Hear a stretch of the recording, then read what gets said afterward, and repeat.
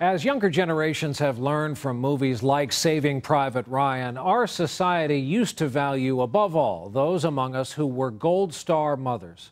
A gold star in the window meant that household, that family, that mother had offered up the ultimate sacrifice and had lost a child to the war effort. You still see them, they're still around, but Gold Star mothers don't get the attention we once gave them. If we did, there is a woman in Clovis, California, who sadly just yesterday learned she has earned the right to place a second gold star in the window. Peggy Hubbard's son Nathan was 21 years old. He was one of the 14 who died in that Black Hawk helicopter crash in Iraq that we reported on here just last night. Mrs. Hubbard already lost a son in this war, Jared.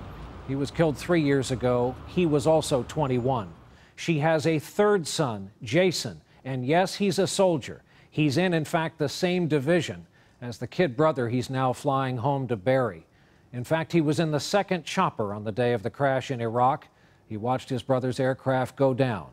He's decided not to return to the fight, and who can blame him for what he's given on top of what he's given his country already? He's the surviving son, after all, of a Gold Star mother.